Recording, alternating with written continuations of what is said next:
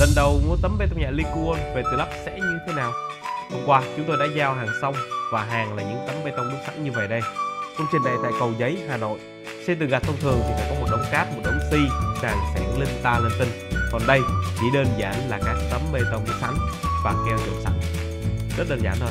Bây giờ thì theo chân tôi để xem các anh thợ có thi công được hay không nhé. Và đây đương nhiên là các anh sẽ làm được và phải làm được thôi. Bởi vì chúng tôi cầm tay chỉ việc rất là đơn giản và dễ hiểu những cái tấm này khi lắp ghép nó có bốn ngàm âm dương rồi. Nha ngoài liên kết vữa, chúng ta đóng thêm cái râu sắt vào. Các anh nhìn nè, cái râu chúng ta sẽ đóng xuyên xuống như vậy nha.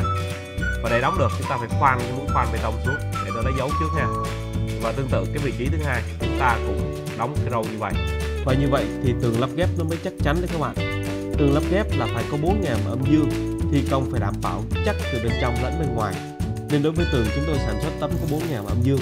Còn làm sàn thì chỉ 2 ngàm âm dương vì sàn cũng được nằm trên sago trên bề mặt thì còn cán nền lát gạch chắc chắn. Chia sẻ kinh nghiệm với các bạn là nếu tường mà dùng tấm 2 ngàm âm dương ngàm cạn thì khả năng thấm mối nối là rất cao. Tường lại còn yếu nên chúng tôi chỉ áp dụng module 6 tấc 1,2 4 ngàm âm dương cho làm tường. Lico là thương hiệu chúng tôi sản xuất bê tông nhẹ EPS tại miền Bắc.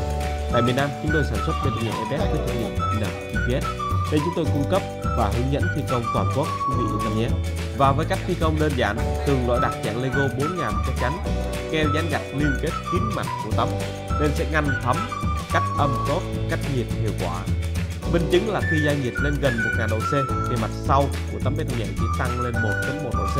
Ngoài lựa chọn sản phẩm có giá thành tốt, thì khả năng chống cháy với bê tông nhẹ Lico chúng tôi là EI90 cùng các chứng chỉ phòng cháy chữa cháy đầy đủ các bạn nhé. Và các bạn có thắc mắc gì, bình luận bên dưới video hoặc inbox cho các nhân viên bê tông nhẹ Lico bê tông nhẹ N, EPS các bạn nhé.